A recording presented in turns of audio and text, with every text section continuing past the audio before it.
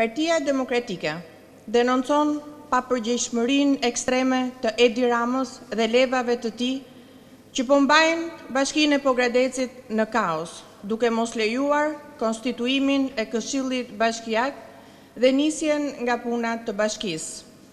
Përmes Peleshit dhe prefektit të Korçës, Edi Rama po hakmerret ndaj pogradecarëve që nuk e votuan atë dhe ortakun e tij Meta. Me pretekste banale, sikur këshilltarët e majtë qenkan me pushime, janë mbyllur dyert e kësaj bashkie e cila për më shumë se dhjetë muajsh është pothuajse jo funksionale.